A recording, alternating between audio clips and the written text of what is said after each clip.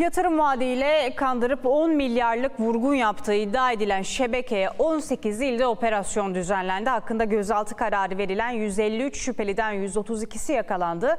Yapılan baskınlara özel harekat polisleri de destek verdi. İşte o 10 milyarlık vurgunun perde arkası haberde geliyor. Yüksek kazanç vaadiyle onlarca kişiyi ağlarına düşürdüler. Milyarlarca liralık vurgun yaptılar. 18 kentte yapılan operasyonla yakalandılar. Dolandırıcıların hedefinde Forex yöntemiyle yatırım yapmak isteyenler vardı.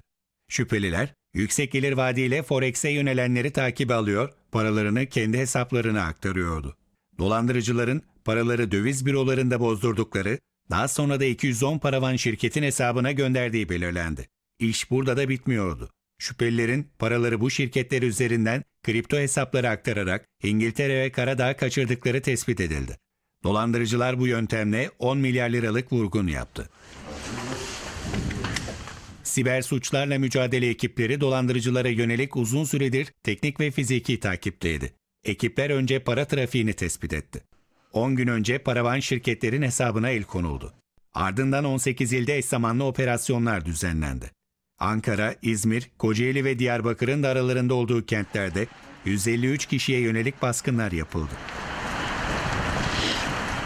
Aralarında örgüt lideri T.A.'nın da olduğu onlarca kişi gözaltına alındı.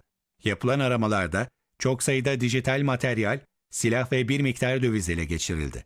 Şüphelilerin emniyetteki işlemleri sürüyor.